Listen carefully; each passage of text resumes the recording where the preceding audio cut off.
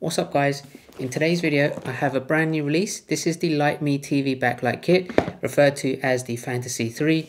This is an upgrade from my Neo 2.0 that I've got set up with the TV just there behind me. I'm going to set this up, give you an unboxing and showcase how it performs with a demo video and also with my PlayStation 5 because this is now referred to as the world's first HDMI 2.1 light sync box that also supports 8K tons of features on this and I'm really excited to take my gaming to the next level with my TV back there. Let's go ahead and unbox this, run through some of the specifications, set it up and showcase to you guys how it performs.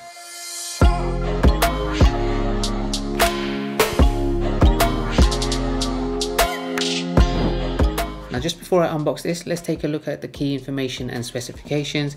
You can see there it's an evolution for gaming. This actually supports 8K at 60 Hz, which I think is absolutely great. If you do have gaming and you do have a TV that supports this, this will be a game changer. I'm going to showcase a demo gameplay by playing something at 4K 120 Hz, which is the ultimate fast refresh rate for high-end next-gen gaming.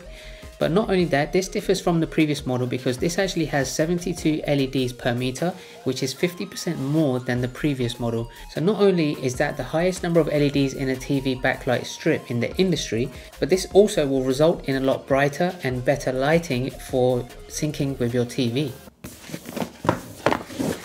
So let's open up the box. So you have yourself the user manual, plenty of information about how to get this up and running.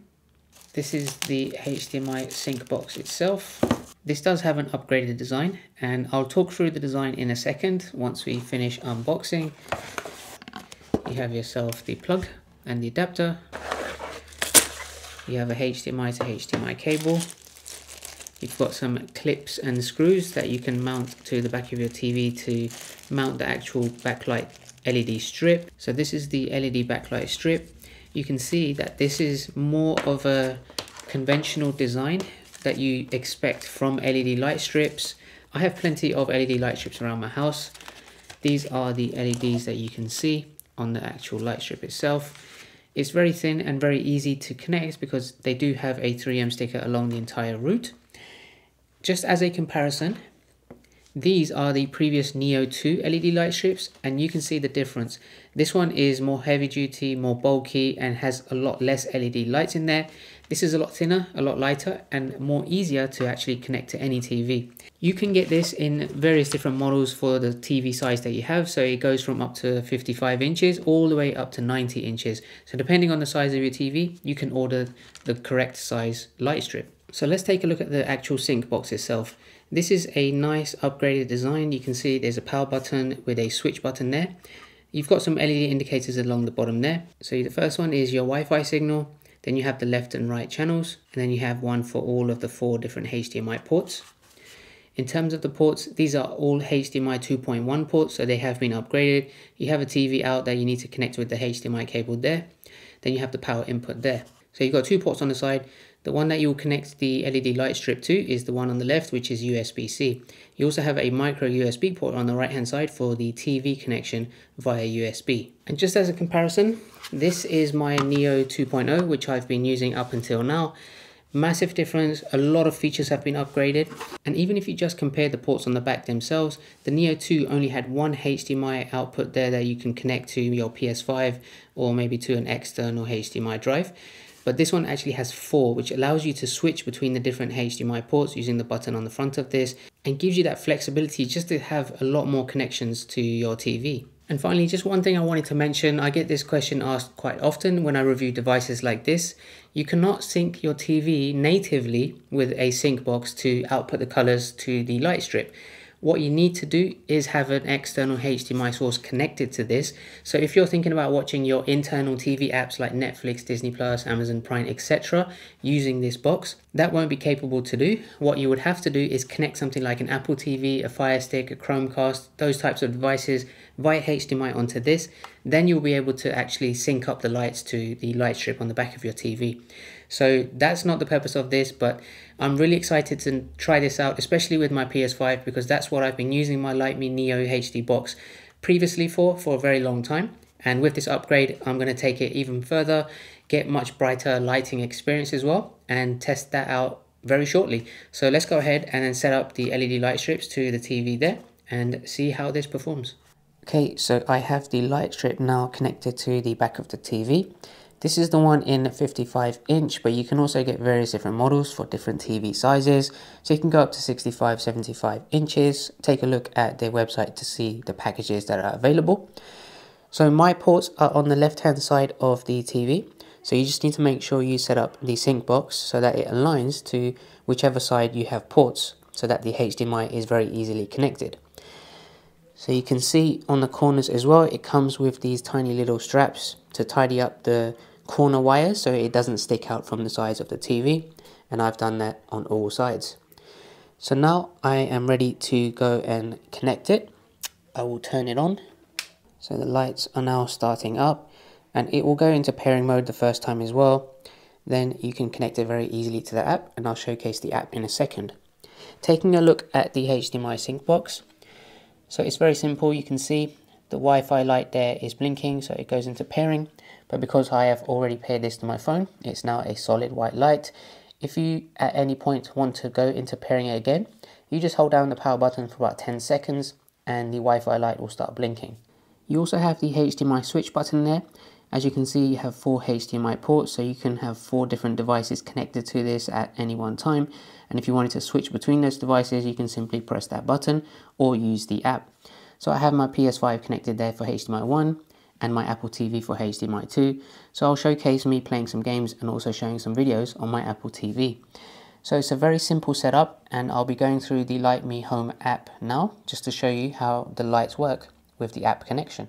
Okay, so now that I have everything set up, you can see that the lights are now syncing with everything that you're seeing on the screen. I'm currently using Apple TV and I just really wanted to quickly showcase everything through the app and how that works.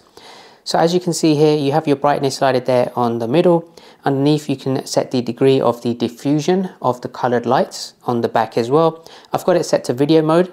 In the middle, you can also set it to recreation and game, depending on what you're actually watching or playing on the TV. Right on the bottom, you have three different tabs. I'm currently on the video tab. You can switch over to music and select different music scenes.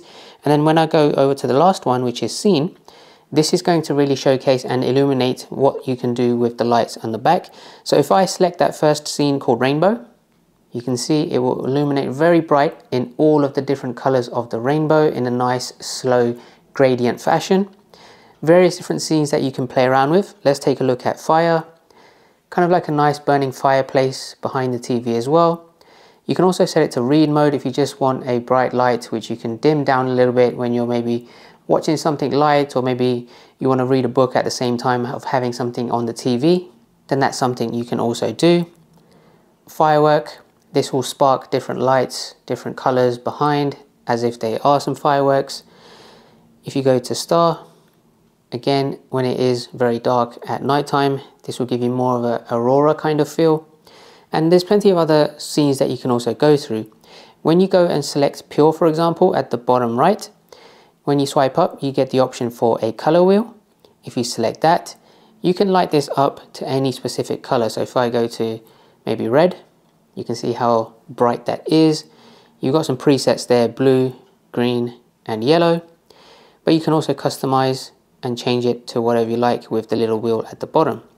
So plenty of nice functionalities with the app and this is also compatible with Google Assistant and Amazon Alexa as well. So you can ask it to turn on and off the lights and various different scene commands as well which I think is really great.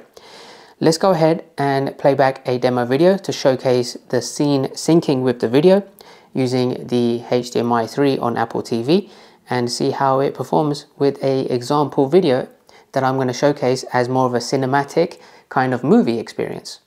Okay, so in this demo, I'm actually showcasing the TV light strip against a grey wall. Just remember that if you do have a white wall behind you, the lights will be illuminated even more. But those that do have darker walls, maybe wallpapers, this is a very great showcase to show how bright these LEDs actually are and how good they do look in maybe all different types of background scenarios. So let's go ahead and play this demo video from YouTube. But the main showcase here is to look at all of the vibrant colors and see how this performs with the lights reflecting back onto the wall behind the TV. So let's go ahead and play the video.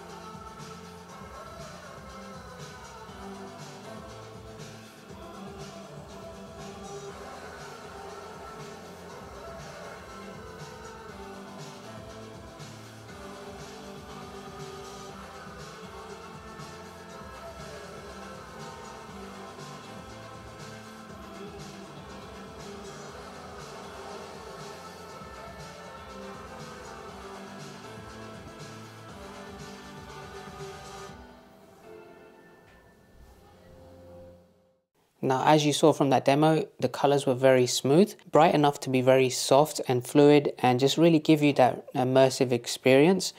But I want to take it even further and fire up my PlayStation 5, put a 4K game on at 120 Hertz, just to show you the fast-paced action and how immersive these lights can feel when you do use this for your next-gen gaming console.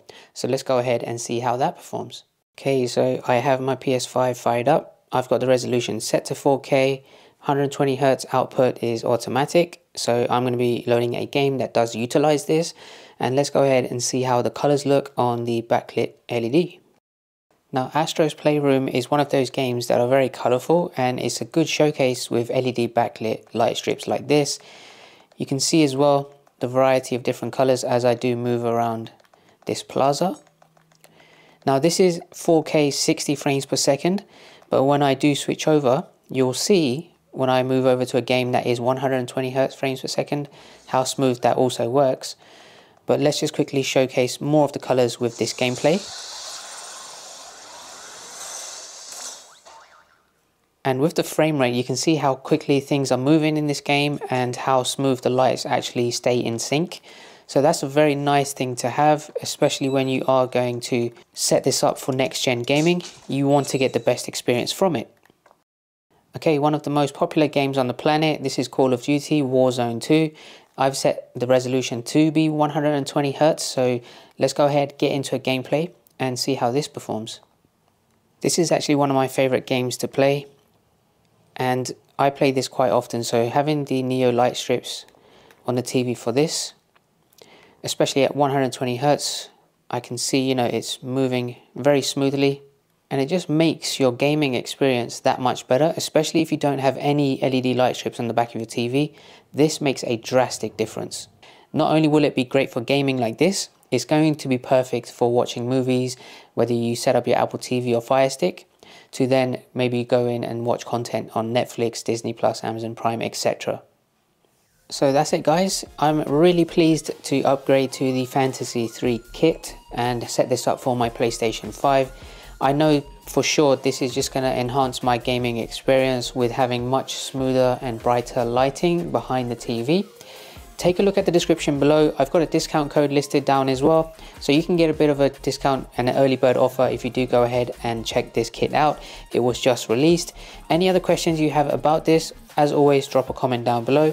If you do like the look of the LED light strip and how this performs, make sure to give this video a thumbs up. Make sure to subscribe. I have plenty of new videos out every week with cool tech gadgets like this and I will catch you guys at the next one. Take care.